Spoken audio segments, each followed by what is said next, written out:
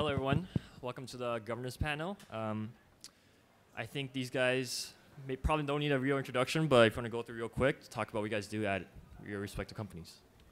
Oh, uh, sure. My name is Robert. I'm a co-founder of Polkadot. So Polkadot is sort of a next generation blockchain for scalability and interoperability.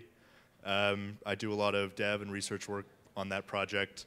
Uh, governance plays a big role in Polkadot because we consider a self-upgrading system uh, where we want to include like new research in scalability and in privacy and so on as we go.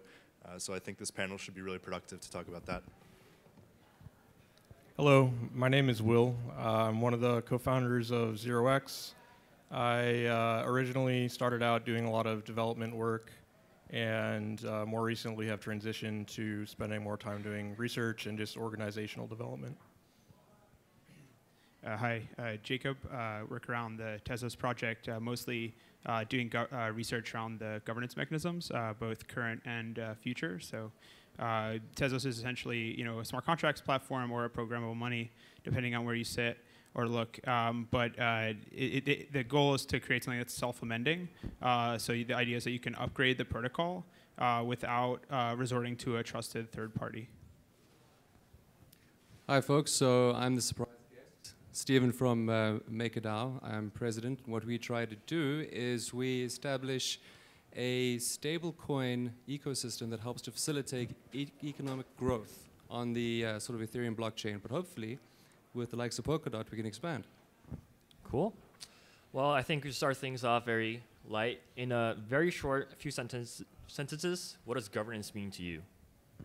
Yeah, uh, so governance in a very abstract way is uh, how a organization adopts and manages its norms for dealing with problems and uh, how, how things should be addressed. So blockchains are inherently social organizations. It's uh, worldwide collaborations of people working on uh, finance or other transactions. Uh, so governance in the blockchain sense is really deciding how should these systems adapt to new technology and challenges as they arise. Yeah, I think I think that pretty much captures a, pretty good definition of, of governance. I would say maybe the one difference I would say I, I, see is that instead of governance maybe just applying to organizations, I think it can also apply to like communities. So uh, groups of people that aren't necessarily bought into a specific organization, but just happen to be part of a community uh, through choice or through happen chance. Um, I really do think that governance are, governance kind of boils down to like social norms. So if you look at like the U.S. government, uh, at the very core of it, the very bedrock, it, it's just the U.S. Constitution, which is a piece of paper uh, with some things written on it, and people just agree to kind of go along with the things that are written on it. Uh, so I believe governance is basically social norms for communities. Yeah, so I, I think those are both you know sort of good uh, like angles at attacking the problem but i think you can actually if you like sort of step back further like, I, I do actually like the vlad Zamfir uh, like lens uh, that he put out. Uh, it's one of the few things on governance that I, I think I agree with him uh, about is this idea of it being about the common knowledge around the legitimacy of decisions. Um, so I think you know if you think of it in the blockchain like uh, context, uh, it's you know you can start with even something as simple as consensus. Like consensus is in arguably you know given that um, you know basically what are the rules that govern what goes in, in blocks in the, in the blockchain, uh, and then you can also say you know how to you know basically introspect about the protocol. What are the rules that should be used to to govern uh, consensus or transactions or, or whatever uh, it is? Um, you know what what are the rules that are you that we use or the rule set that governs um, you know how this thing changes uh, over time. Okay, what to add on to that? Let me think. So, for me, it's first identifying who your stakeholders are and then characterizing how you can be accountable to them. And then finally, creating your governance structure that allows you to implement that as efficiently as possible. So, succinctly, that effectively is what governance is for me. Cool. So, this question might be a bit late for most of you guys, but all the governance really starts off with a token distribution mechanism, whether that be ICOs, airdrops, Merkle mines, various things like that. Um, the current process has its flaws and various issues. I was curious to get your opinions on how you can improve that if maybe you were to redo it. Yeah, uh, so token distributions are especially important when you take into account systems like uh, coin voting. Uh, they're not as important when you start to move into things like identity-based systems or hash power voting systems or things like that. Uh, of course, it's, it's, it is very important to make sure that the, the token distribution is very equal, but you can, you know, even if it's not particularly great, you can also balance it, uh, for example, with uh, lowering the threshold or, or, raising the threshold for, for acceptance uh, based on turnout and things like that, uh, just to make sure that you're actually dealing with, uh, like when you're dealing with parties who hold significant proportions compared to everybody else who's participating, that they can't uh, hijack the system. Yeah, so I, I think token distribution is one of the things that we were really focused on early on in the project uh, when we were developing and launching 0x protocol on the Ethereum blockchain. Um, the kind of prevailing way of distributing tokens up until then had kind of been like uh, a project will you know have some allocation of tokens and they kind of just put them up for sale at a certain block number and uh, people kind of flock in and, and, try and get as many as they can as fast as possible and like in some cases you know it would be like five or ten different Ethereum accounts that would get, you know, they could take like the great majority of all tokens for a specific project. Now, not all of those tokens were like governance tokens, but uh, for 0x protocol, uh, we're using a token-based voting system.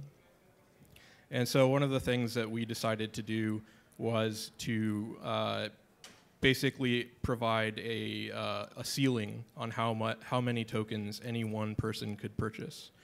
Uh, and we basically forced people to regist- go through this registration process, which was kind of a, a somewhat effective Sybil prevention mechanism. Uh, and each person was able to purchase uh, an equally divisible amount of the total amount that was available. So I think there was like 12,000 people that registered to participate, and every single person was able to purchase up to one twelve thousandth of the total supply.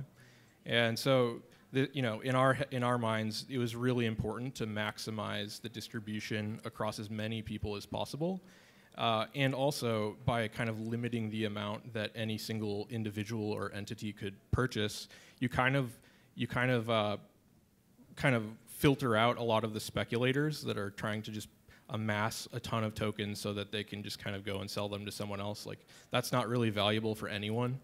Um, so we were just focused on trying to get the people uh, that are actually going to be using this the protocol, uh, and as many of them as possible, uh, to be able to participate and, and purchase the tokens.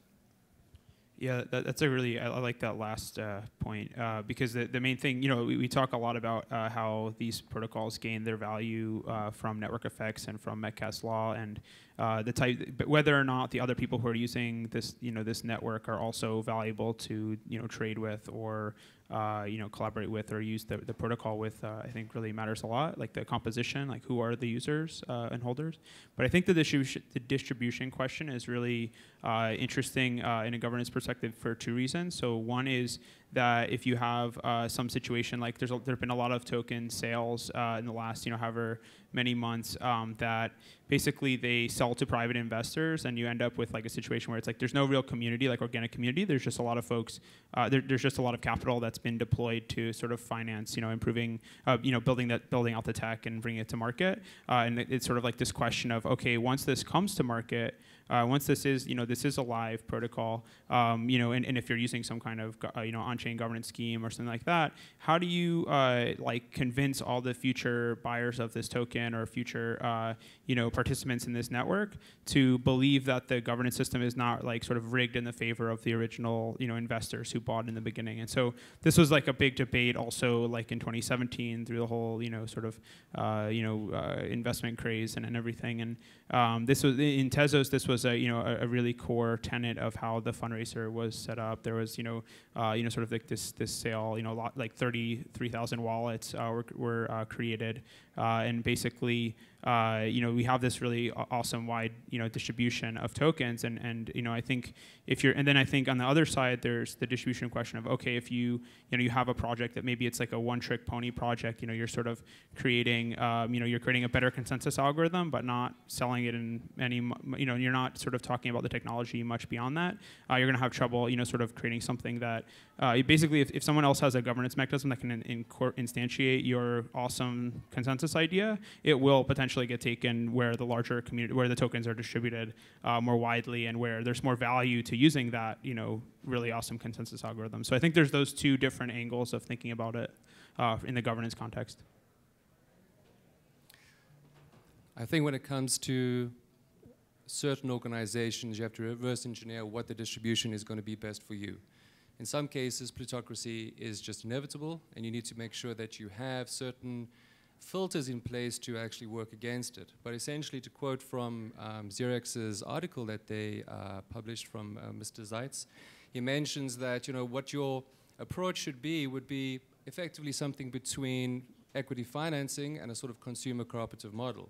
And what you've got to do is be able to say, well, what is it that is going to make sure that my organization actually survives and works and flourishes, but at the same time has a good balance of governance to be representative of what is ultimately good for that organization. So, you know, from MakerDAO's point of view, we've got that. We do have a certain amount of um, whale-like or plutocratic-like distribution, but effectively we negate it through a scientific governance process to make sure that whatever we discuss and whatever is put forward is vetted appropriately through some sort of rigorous debates that we ultimately can make sense about.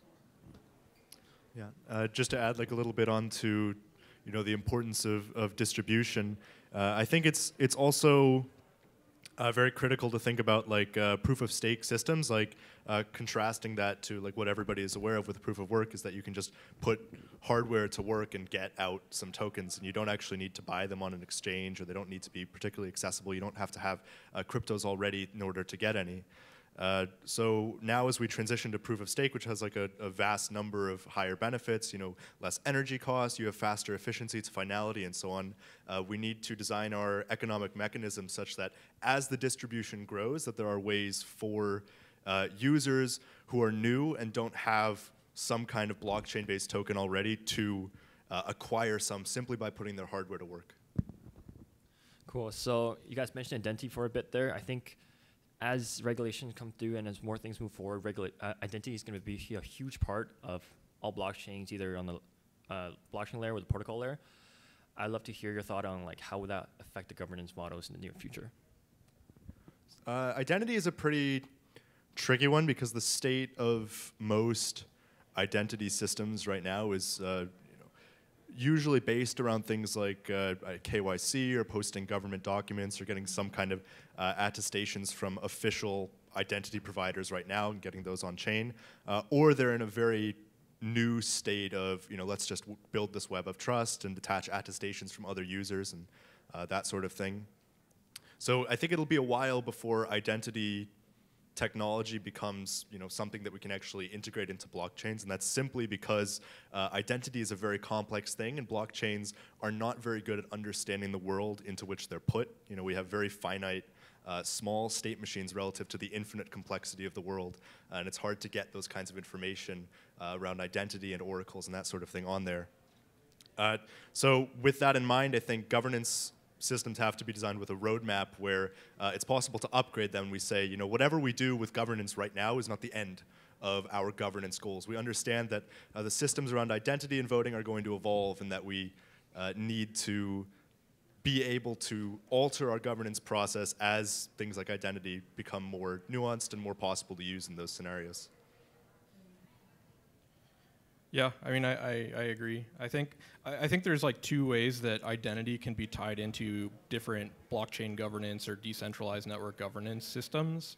Uh, like the first, like I think the way that most people think about it uh, when you know we talk about like identity and governance on the blockchain is like every individual person has a public key, and everyone else knows that public key is associated with that person and you can have things like democratic systems of governance. Uh, but I'm not convinced that you actually need to do that in order to have, you know, the type of uh, kind of social accountability that is required for effective governance systems. So I, I think like one way we might see identity find its way into blockchain governance, like some of the very early first ways we might see it, is through people self kind of deciding to uh, go and nominate themselves for an election. Uh, and maybe there's a committee of people that are focused on one aspect of governance within a community. And the people that decide to kind of participate and run in that election verify ownership of a specific public key. Uh, and in that case, there isn't any kind of strong relationship between identity and you know an account or or whatever on a blockchain. Instead, it's it's like very specifically people that decide they want to uh, show that information to the world that can go and do that and remain socially accountable to their community. Yeah. So without uh, you know speaking to like some of the, like you know like the regulatory reasons people are implementing identity that sort of thing, I think in decision actual decisions that are made on chain, I think one of the great strengths of this technology is that you can part- you know it, it potentially with something like an on you know an on-chain governance scheme, um, there's ways to participate uh, in this uh, you know governance scheme without having to reveal um, that you, you know how you voted or, or, or what or whatnot. So we, are not there yet. I mean, we have we don't have really have like receipt free voting. We don't have you know good you know mechanisms to you know obscure you know that, that are deployed uh, today to obscure uh, how someone voted uh, in current uh, blockchain uh, governance. But I think in the future you'll see uh, blockchain governance that is you know sort of obscuring you know how different people vote. You just sort of see the outcome after a, you know a given amount of time uh, you know, if, if, that's how the, the system is designed. But I think that's actually a, a feature, like you know, something that's that's very attractive uh, about this type of governance um, for a number of reasons that probably would take longer uh, than this panel to, to go into. But uh, I, I, think that's something that will be a big debate, you know, a, a very contentious, you know, point because like if you look at a lot of the debates in the Ethereum community, for example, around uh, you know, around governance, there's actually a lot of conversation about uh, basically like using identity uh, or using uh, you know ways to basically ways to prevent uh, Sybil attacks uh, on uh, you know different you know different discussion forums or Reddit or, or whatnot, um, where uh, you know different proposals or you know uh, you know changes to the protocol are being discussed. Uh, so I think there's going to be a lot of there's there's sort of the, the I, I, would I would say there's sort of maybe some spectrum of like maybe there's you know identity on, on one end you know where it's sort of like one person one vote um, you know, and you have you know sort of some kind of like something that really maps very closely to the real world, um, and then you have you know in terms of decision making uh, mechanisms, and then on the other end you have things like futarchy and and things that are like very it's all very abstracted away like wh- who and how this decision is being, you know, what are the, what the inputs are to this decision. I think we're going to see things entirely across the spectrum. Like I, I, I think, and I, and I, think some of the most exciting opportunities actually lie in combining uh, some some parts, you know, so, so, so things maybe that use more identity um, and maybe you know are like more attached to. Uh, like uh, you know preferences around like you know you know where people want blockchains to go, that sort of thing, uh, more normative questions, uh, and then and then on the other end, like trying to sift out the truth, which like doesn't is sort of like not as you know will this specific uh, protocol change uh, actually increase increase throughput? Okay, let's bet on it in a in a you know prediction market, um, you know, and, and anyone can participate who has any amount of capital. So I think there will be really interesting experiments uh, along that spectrum. Uh, for me, self-sovereign identity is pivotal to the whole thing. Without it, basically, you cannot go ahead. I feel that's the individual needs to own their identity before they should use it. So consequently, before that, the consequence or the idea of using identity on the blockchain can come forward in, um, in full display, it needs to be in the hands of the individual to begin with. Perfect. So both Tezos and Polkadot use this idea of on-chain governance and live upgrading. Uh, this question is for Rob for now, and uh, can you kind of take us through the entire process of a proposal all the way to it being deployed to a production net? Uh, yeah, sure thing. So uh, what we think of as Polkadot is not actually uh, really just what's described in the paper and what we implement right now. It's actually a uh, like it's it, it's not just a protocol for uh, scalability and running a bunch of blockchains in a network. It's also uh, sort of a meta protocol for upgrading this very state transition. So the way that it works is actually that the code describing the state transition of how a, a block is processed is actually stored on chain. Uh, so this means that we can have some kind of governance system which upgrades that code. Uh, so the way that that works in the current proofs of concept uh, is that we have some sort of uh, bicameral government where there's a uh, sort of technic technocratic council that's elected uh, via approval voting. It's got a fixed size. Uh, it's elected by coin holders. And then the other house is a um, is just a simple coin vote, but it's weighted by turnout uh, in a way that the uh, threshold for uh, rejection grows quadratically with the percentage of turnout. Uh, so we found that that works pretty well. But the really nice thing about being able to upgrade the code is that we can actually have a self-upgrading uh, governance mechanism. So for example, uh, somebody could propose a transaction which will change the code of Polkadot to include a governance that implements Futarchy and liquid democracy and adds those as houses as well. Uh, so then this will go to the council. If it passes there, it'll go to the uh, coin voting system. If it passes there, then it is automatically applied and everybody can see that this change is actually canonical. Uh, so it's immediately binding the decisions that have been made. Uh, you could also add some kind of delay for people to uh, react to changes. So they say, "Oh, I don't like that change," and they, you know, if there's six weeks before it's applied, they can start to leave the system. Uh, or if not, it could be applied immediately. You know, there there are definitely variables to tune there. Uh, but the really nice thing is just that it can basically alter itself. Cool. So, as a follow-up for Jacob here is. Um, Vlad recently wrote a several blog posts talking, especially mentioning autonomous on-chain upgrading and governance in that respect. He has some words to say about it that were not too kind, so I would love to get your thought, some counter arguments in that regard, maybe. Yeah, yeah. So, well, first, let me just follow on um, uh, what Rob said about uh, how Polkadot works and just explain how, how Tezos works. So, um, and, and actually, if we back up, like let's look at like what on-chain governance means in general. So, I think there's typically what I've seen is like three major types, and it's not this is not exhaustive, but the first type of when people say on-chain governance, they mean uh, things like DAOs or uh, Aragon or even maybe the way 0x works, things that are sort of maybe, maybe more like the application layer of some, you know, or some kind of uh, you know on-chain uh, DAO or, or, something like that. Um, and then you have things like EOS and Dfinity and projects where uh, there's basically they're, they're the you know people are not basically the participants are not only coming to agreement about you know state and about uh, you know, about uh, uh, you know future changes to the protocol. They're also making decisions uh, that are retroactive to previous decisions. So they're looking back and saying, oh, we're going to like you know th this smart contract is running code uh, that hacker you know hackers are using or it's insecure or whatever, and, and, they can change balances pretty seamlessly. Like there's people who are sort of have this ability to change balances rather easily. Uh, and then in, in Tezos, the actually on-chain governance is sort of aimed at something very specific, which is upgrading the protocol. And it creates a very high, it has a very high bar for making those changes. So basically, uh, you know, there's proposals that are, you know, put out in, in, in, code form, you know, probably going to be posted on GitLab or, or GitHub in, in a repository.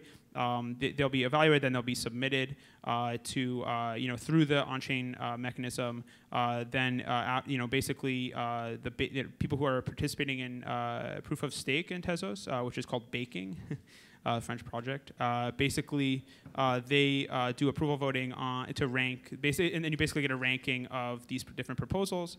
Uh, the, the best ranked one then goes to another vote, and this is all based on 80% quorum, but that can be dynamically adjusted based on previous participation. and then it goes to a vote uh, and if 80% uh, of, of uh, those participating in, in the quorum uh, decide to put it onto a test net, basically then uh, all the, the Tezos uh, bakers, they run both the, the test net and the, the li- you know, the main net. And basically after a predetermined amount of time, they can then switch, you know, they'd vote again, and then they, they can switch to the new software. Uh, and basically, uh, that means that you know obviously the, this this mechanism is binding. Uh, you know the decision that they make via this voting process is binding, um, and uh, you know then you can you know Tezos can also you can make uh, changes to the the governance protocol itself through this way. Um, and that I think all of this will be uh, quite interesting. But that's that's how it becomes autonomous. So to tie it into your, your question, so why why do we want something like that? Like, right, it's like this question of isn't existing blockchain governance going quite well?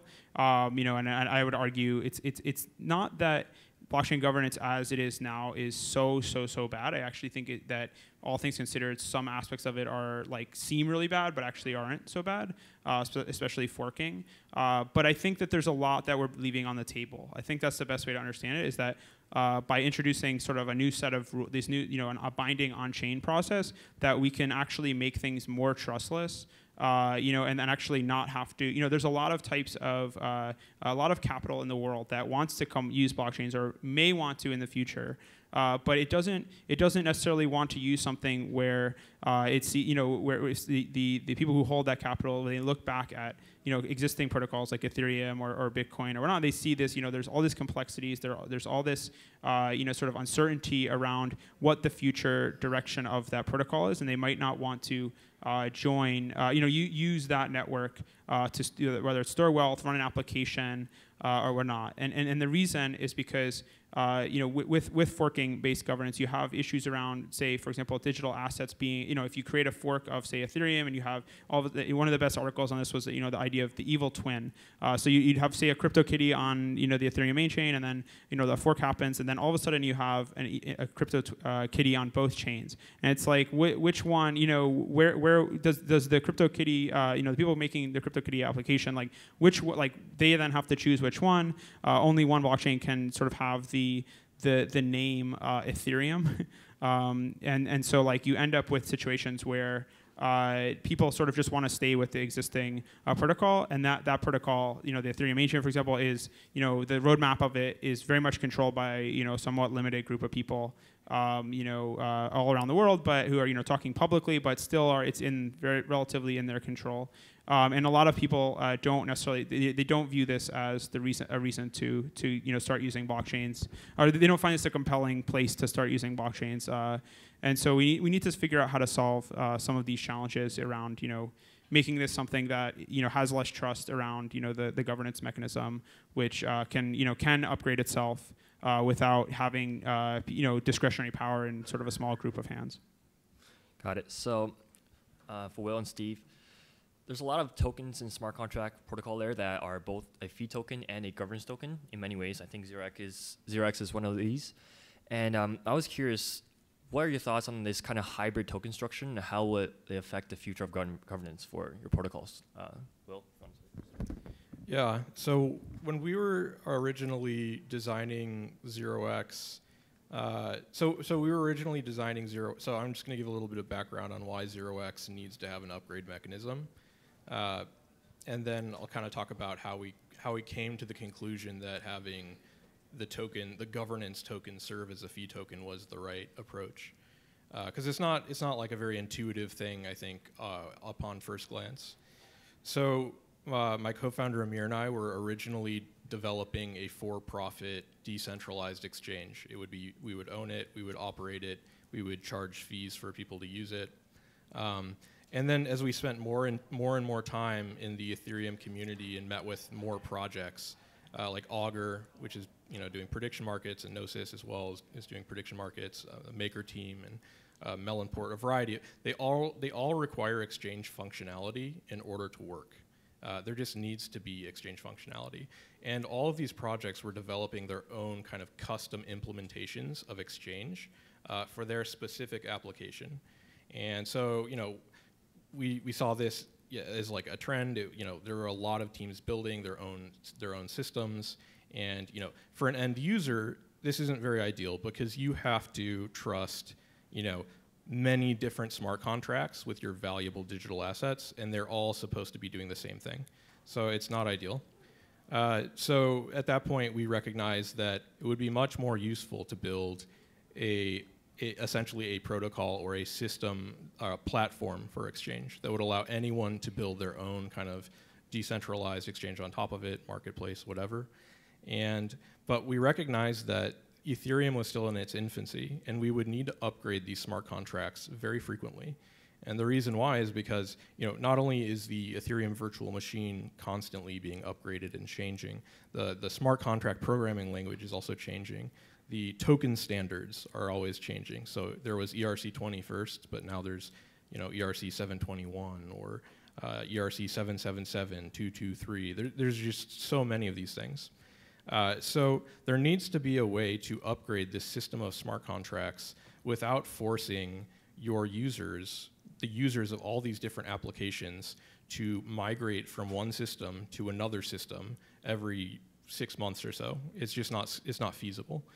Uh, so we determined that if we're going to be building this system for all these different projects to use, And this system is going to have to be upgraded frequently. And those upgrades are going to kind of bubble up to the systems on top. There needs to be a way to have these different projects and the people that are using the system to weigh in on the decision making around that upgrade process. Uh, so, you know, having all these different projects using 0x and then just having like Amir and I on the couch somewhere making the decision to upgrade is like not a very good solution. Uh, so we determined that the best way to do it is through token voting of some form or another. And then the second question becomes, if you have a token that is being used to make important decisions that affect many other projects, many companies that exist in real life, you know, who are the people that you want to be holding those tokens? Okay, do you want like some random crypto fund that is just putting money into every single ICO that they find? Do you want those people making these important decisions? Like, no, you probably don't. You want the people that are actually using this system and have a vested interest in the system continuing to operate uh, and improve over time. So we thought of a variety of ways that could potentially push the token distribution into the hands of, of people that are actually using the system. But you know, basically what we determined was that the very easiest way for us to do this, at least in the short term, was to require that the people using the system to kind of do trades, uh, to enter into trades, you know, require those people to have a small amount of these tokens uh, at hand, and that will naturally push the token distribution over a wide body of people over time. So that was kind of the rationale behind why have this governance token serve as a fee token. It's really a way of kind of like pushing out, flattening out the token distribution.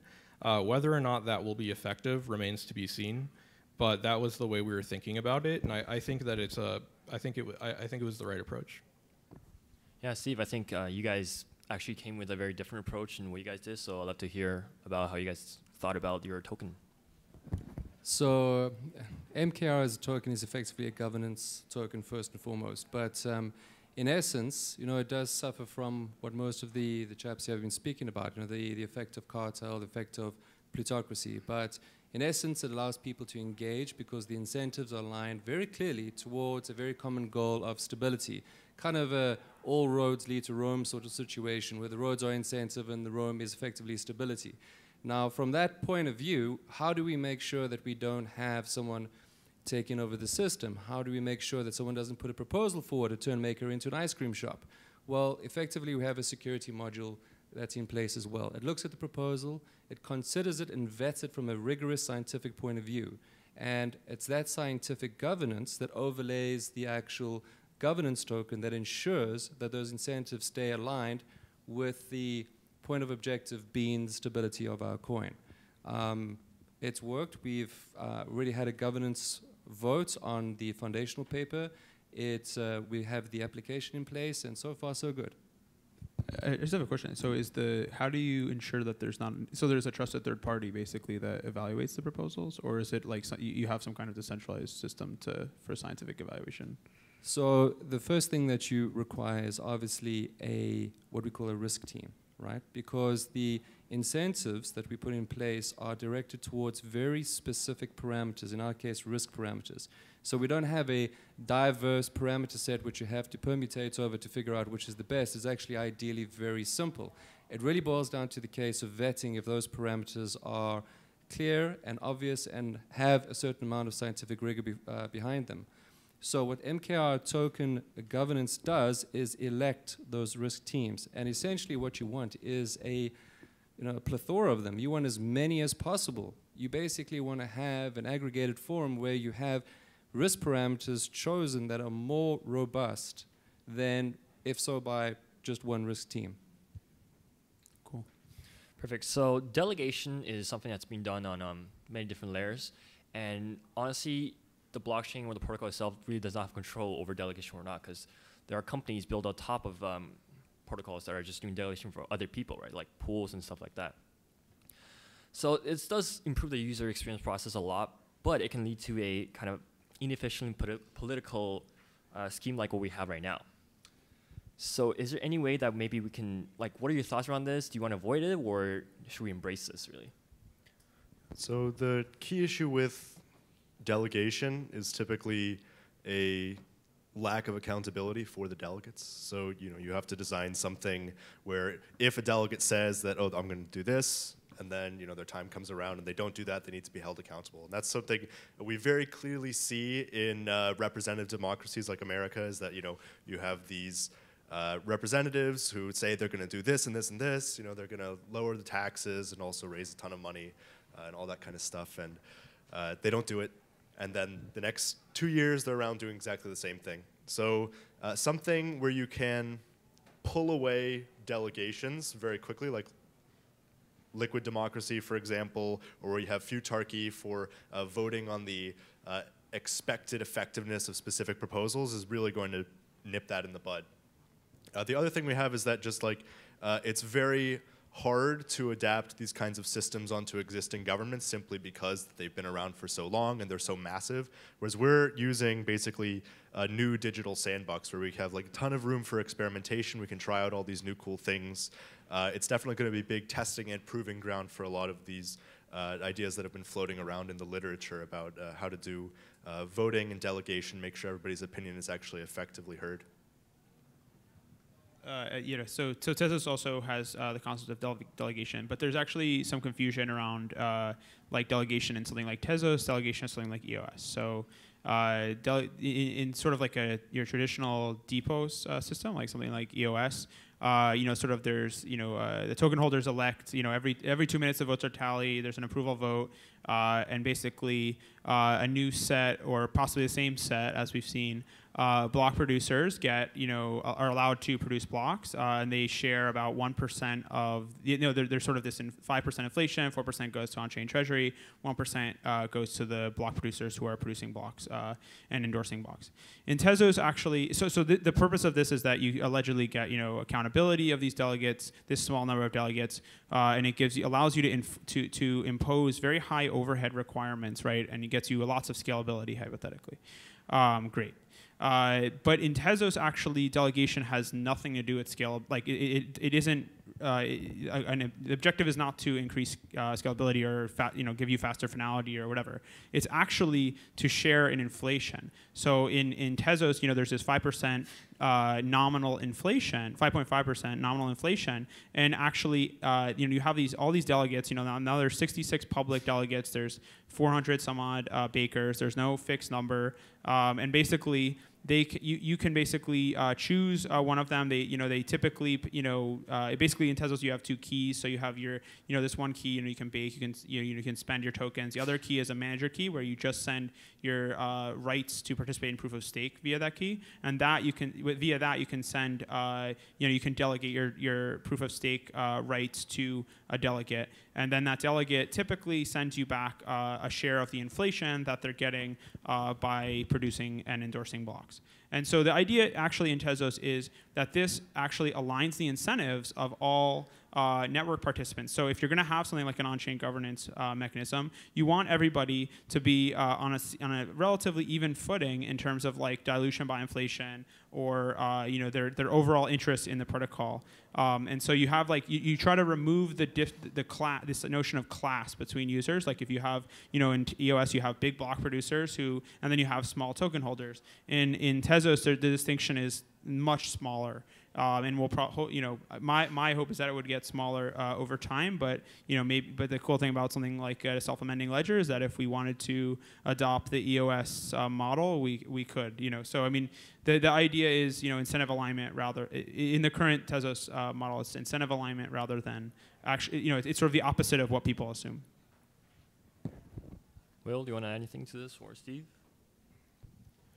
Um, I, yeah, I mean, maybe I, I, can play devil's advocate on liquid democracy and, and, systems where you can you can very easily move influence among different groups of people. Uh, and so, just a pre- prefaces. So, I about six months ago, I, I was in the same camp where I was very excited about liquid democracy, and uh, about our, our research uh, fellow Peter, who recently joined 0x, kind of changed my mind on this. And his argument is that you know, people have enough trouble participating in, uh, you know, elections and governance processes as it is uh, when there's like a regular cadence for you know elections in the United States, for example. Uh, every two years, you know, you, you can go and vote for uh, someone to represent you in your state. Uh, every four years, you elect a president, and people don't turn out. Now, imagine if you know, at any given moment, you might have some sort of important governance decision to make, and it's your job to go and respond to that by showing up to vote. People just aren't going to do it. Uh, and yeah, I mean that's that's the bottom line. Like people just aren't going to be able to to dedicate that much of their attention and, and that much of their lives to, to participating in governance. So you know his argument, and I, I'm sort of tending to agree, but I think we should experiment, is that having elected representatives making important decisions within a community is probably a good thing. Yeah, basically, to add on that, really boils down to are you looking at uh, delegating to uh, sort of technocratic ideal or is it a special interest group? And there's a fine line between that. Yeah, I think that's right on. Um, and, and what I was going to say uh, is that um, I think what you, w- w- the way I think at, at, blockchain protocols, and I think the way they'll especially evolve is that you'll basically always have two classes of users: people who are paying lots of attention to blockchain governance, and people who are, you know, not paying attention. I think, uh, personally, I think the goal of blockchain governance in the long term will be that you know there aren't that many actually that many upgrades on the base layer that uh, you actually uh, want it to be that the vast majority of token holders are not paying attention to like that's how we'll know that this thing has been adopted widely is like if people are using you know decentralized applications and and you know using you know smart contract based uh, tools and, and, and financial instruments and stuff without ever caring about you know what uh, you know Baker X vote how they voted in on-chain governance. And I think um, I think that uh, the, the, the goal is to have accountability on these, you know, maybe a smaller group of, of you know, ho- hopefully not too small, like something like EOS, but some, some uh, smaller group than the total number of token holders um, that are paying attention to how things are going and actually have to worry that they'll either lose, uh, you know, some delegation uh, or some amount of tokens uh, delegated to them, uh, or that in, you know that by destroying the system that uh, token holders will just leave that like if it's Tezos will just leave Tezos and go to another uh, uh, protocol uh, you know network. So I think I think there's I think that's like where we're headed and I think uh, it'll be really interesting to see whether or not this turns into multiple classes of users who are misaligned in their interests or if they're just multiple different classes of users in terms of their amount of participation and how involved they are in the, the governance. Perfect. So with the recent investment into Maker actually by Andreessen brings up an interesting question of uh, these funds and various venture capitalists play roles in governance. Um, I was kind of curious in what do you think? How will these guys either help or you know be ineffective in the governance models? Yeah, so um, I'll make this brief because I want to hear what Steve has to say. Uh, but basically, I think that there's a huge uh, importance on uh, making sure that the, the, the, token distribution is pretty fair from this respect. Uh, you know, obviously, investors have a moral responsibility to behave uh, well with the tokens that they have. They also have a financial responsibility to make as much money as possible, and these uh, incentives really do clash sometimes. I've even uh, spoken to investors who have discovered that uh, they can use that undue influence over some protocol to uh, make changes happen. Uh, and that's something you really have to watch out for because a lot of developers are thinking like, oh, there's no way that uh, the these guys are going to have like that big of an influence and that many tokens, such a high proportion, and do you know bad things to our protocol. But it really is something that can happen if you're not careful.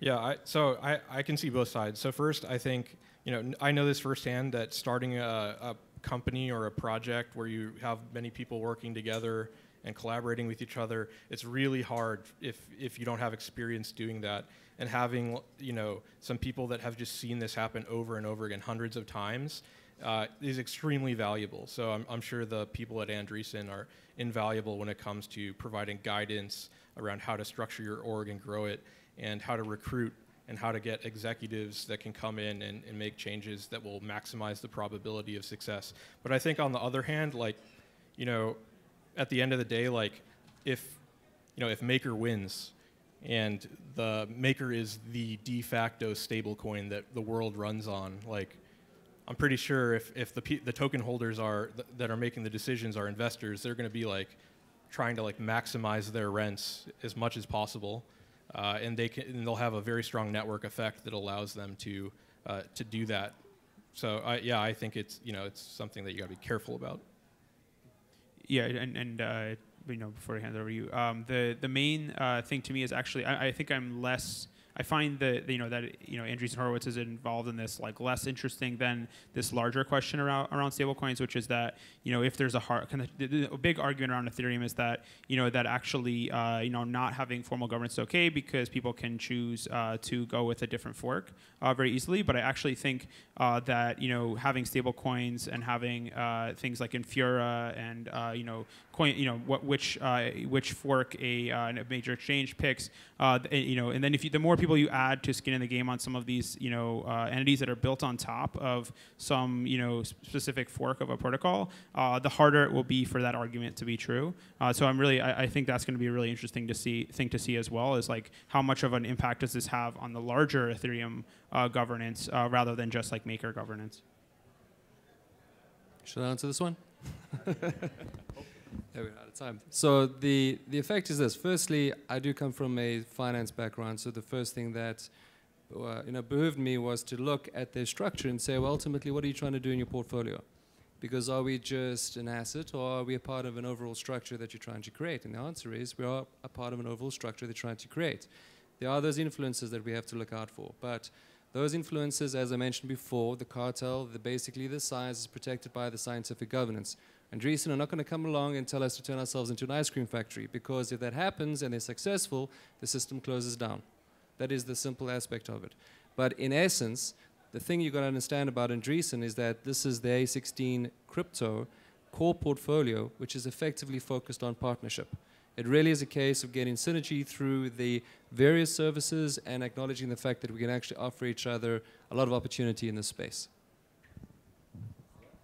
I think uh, that's all the time we have, or if not, we're already over time. But uh, thanks everyone coming out, and I think these guys will be around. If you guys have some questions. Thank you. Thanks.